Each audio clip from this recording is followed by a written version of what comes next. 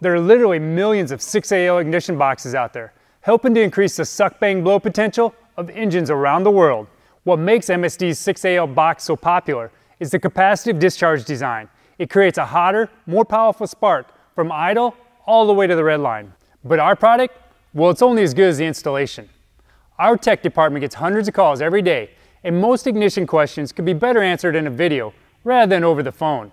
So I'm here to show you how to correctly install, and we'll even help troubleshoot a 6AL ignition box. The first step is to find a suitable mounting location for our 6AL box.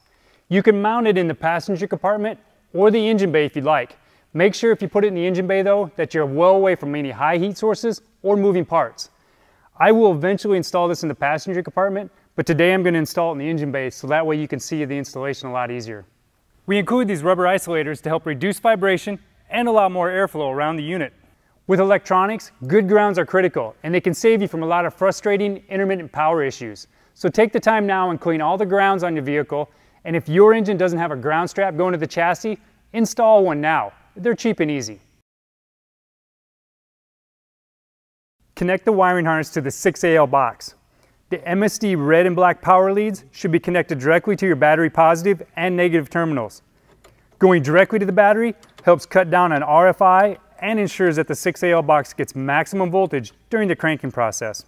The smaller red wire coming from our 6AL box needs to be connected to a switch 12 volt power source.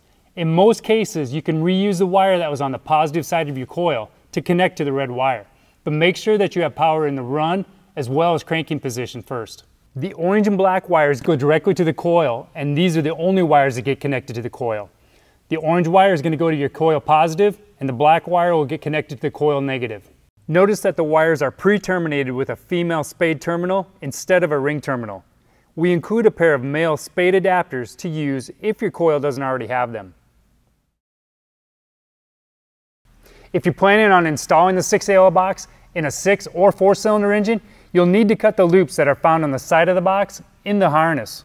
Cut the loops according to the instructions found on page 5.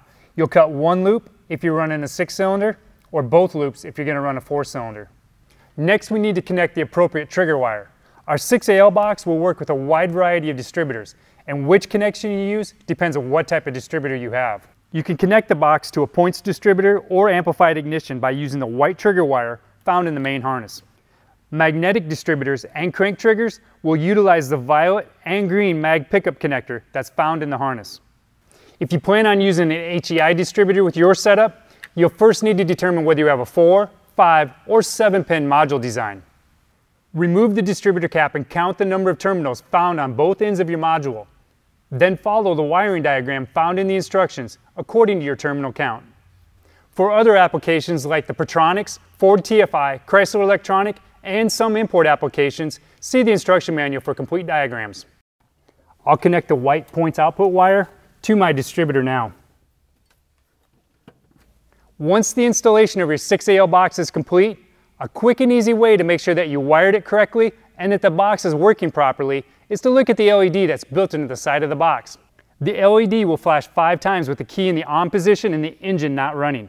As the engine is cranking or running, the LED flashes every time it receives a trigger signal from your distributor or crank trigger. We ship our units from the factory with the rev limiter verification turned off. This is done as a precaution. In some EFI applications, the tach signal can actually trigger the injectors and possibly flood your engine. To enable rev limit verification, just follow these steps. With the ignition switch in the off position, ground the gray tach wire.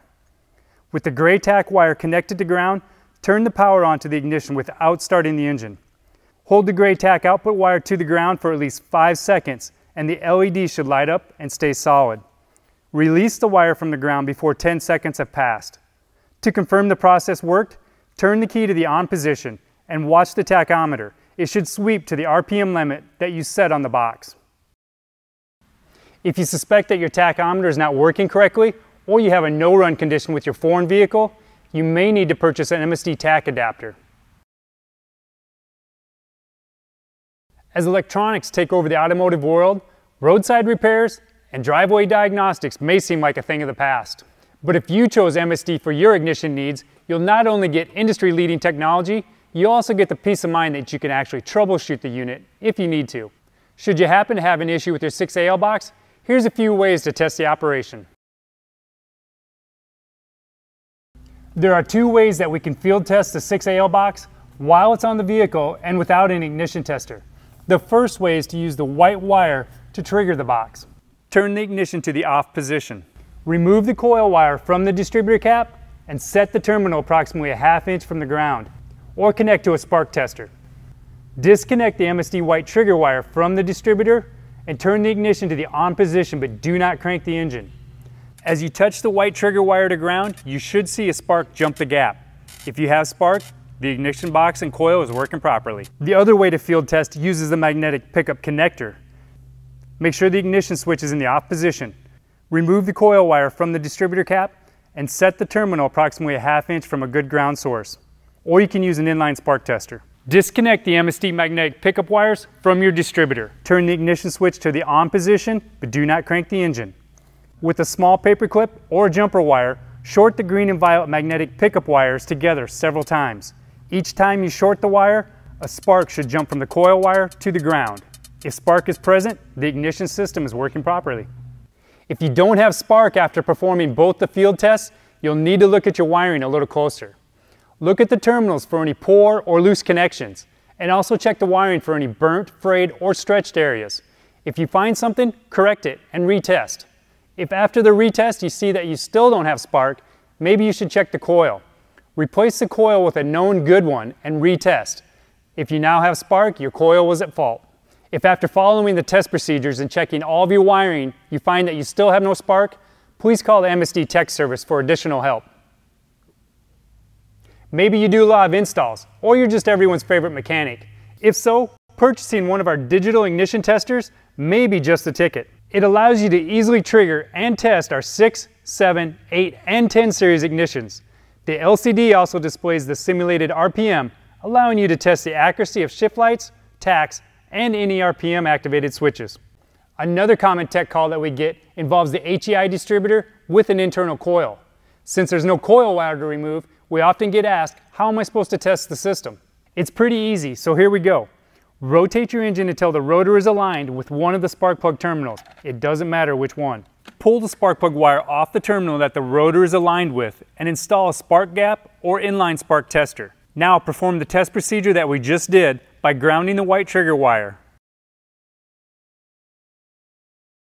Misfires in older vehicles is a common issue. This is especially true if you're still running the original spark plug wires and non-resistor spark plugs. Plug wires are a key component to your ignition system. We recommend that you use a good quality helical wound spark plug wire and never use solid core wires. Helically wound wires provide a clean path for the spark to follow while keeping electromagnetic interference from interfering with the 6AL's operation. Spark plug wire routing is also important. Make sure that you route your wires well away from any high heat sources, moving parts, or sharp objects. Also avoid routing wires side by side that may fire next to each other in the firing order. For example, on a small block Chevy, number 5 and number 7 wires should never be ran together. If you have to cross wires, do so at a right angle. This helps reduce the chance of voltage being induced between the two wires, which can cause detonation or more serious engine damage. Spark plugs are also an important factor. Choose a plug that's suited for the engine design and the heat range that's recommended by the manufacturer. We also recommend that you replace your distributor cap and rotor with a new one whenever you install an MSD ignition box. Some early Ford and GM customers may experience engine run-on, causing their vehicle to continue running even after the ignition switch has been shut off. This typically occurs on older vehicles that utilize an external voltage regulator. Run-on occurs due to a small amount of voltage passing through the charging lamp indicator and feeding power to the MSD box, even though the key has been turned off. To solve the run-on issue, we supply a diode with your ignition kit. Diodes are like a check valve for voltage, allowing current to only flow in one direction. The diode needs to be installed in the wiring going to the charging indicator lamp. Installing a diode helps prevent the voltage from backfeeding and entering the MSD box, keeping it powered and the engine running. Make sure you install your diode in the correct direction. Most diodes will be labeled with an anode and cathode side. By now you should be an expert, right? Well, maybe not an expert, but at least you can be a hero in the pits next weekend. I hope you enjoyed the information in this video. If you'd like to learn more about any of our great MSD products, visit our website at msdperformance.com.